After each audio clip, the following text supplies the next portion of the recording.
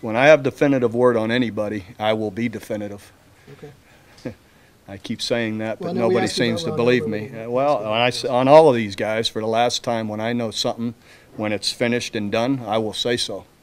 So obviously, none of them are just yet. The main thing for Ronnell, uh, he knows he's he's our guy, and you know we, we've made that clear to him, and he knows that. And uh, you know, it, once once everything is resolved, whenever there's no, you know, like I said, there's nothing to it right now. But uh, once it's resolved uh, uh, and, and he's cleared, he'll be he'll be my guy.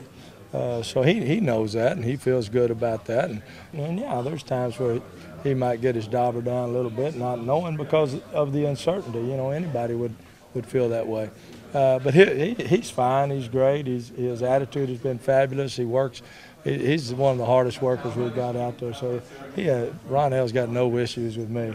I definitely prefer going to school than uh, going to practice, than uh, doing two practices a day, you know. But I mean, uh, school, I like school, you know. I, I think I'm a pretty good student, and uh, just being in class and you know, uh, showing off my characteristics to, to the other classmates and teachers, and uh, so I prefer just being in class. I mean, it's definitely a big confidence booster. Um, going against Landry Jones. I mean, all the receivers are great. I think we have one of the, uh, you know, the best receiving corps in the country. But going against 85 and 12, and like their chemistry is, it's really good work for us.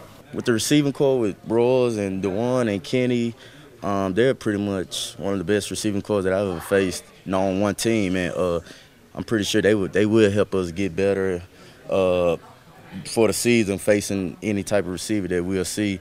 Uh, we know they have different tendencies and strengths and weaknesses, and I think we have all of them on that on our uh, offense. So uh, once once the season starts, we won't be surprised to seeing anything. And you know, working with them, it's just getting us better and getting us confidence that we can defend anybody in in the nation. So, uh, Broad being one of the best receivers, it's it's bringing me tremendous confidence. You know, I'm motivated and just dedicated to just go out there and get better. And, you know, try to defend him to the best of my ability. I mean, all over the land, we're, we're hated by most every college in the country. So, I mean, it's, it's nothing new. And, I mean, we've been ranked number one before, and we've stayed number one. We've lost number one. But, I mean, it's all about, like I said, where you finish in the end. And we're, we're trying to finish with that, holding up that crystal ball in New Orleans. I mean, you come to you come to OU to be number one, and that's, I mean, you can just all throughout the history books. Uh, trying to get number eight this year.